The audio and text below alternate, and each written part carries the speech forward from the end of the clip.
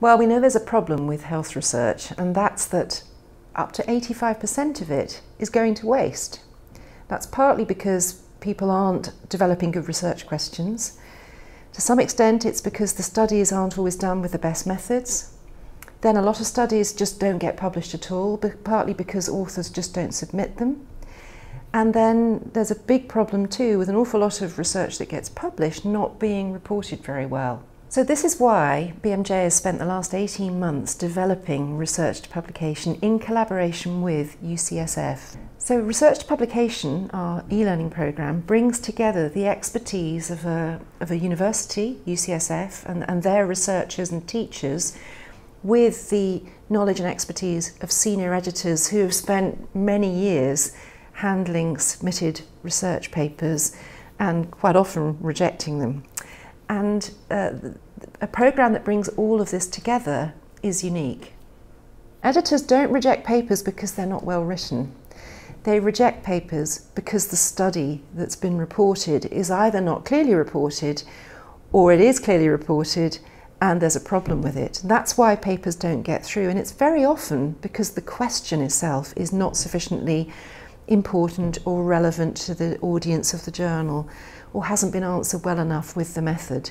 That's why research to publication takes you all the way from developing research questions to choosing the right method through to writing papers very clearly and following the guidelines that actually help you to report each kind of study design fully and transparently. What's in research to publication is a synthesis of best practice, internationally accepted guidelines on how to do research and how to write it up and publish it ethically.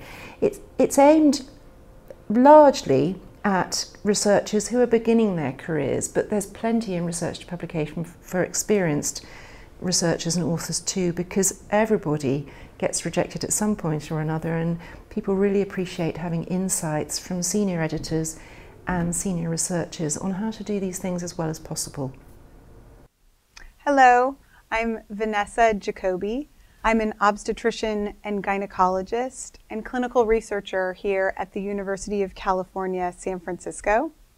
I'm really excited to discuss today's topic, which is how to design a research question for your research project. And that's something that learners can do at their own pace, but equally institutions can use this in blended learning to have a, perhaps a weekly tutorial where all the students have come having done the same module and then they get together to discuss how that's relevant to their own research and to their own setting. If you complete a module, you get a certificate from UCSF and BMJ and we're looking forward to working with institutions to accredit research to publication as well so that um, it will be more embedded in, in the institution and its curriculum. If research to publication sounds like the sort of thing you're looking for, uh, perhaps you're um, a dean of a medical school, perhaps you're um, a lecturer, you're a researcher, a mentor, or you work in a university research integrity office because research to publication has a great deal on research ethics and publication ethics. Then maybe you want to know more, in which case come and visit our website where you'll find much more information.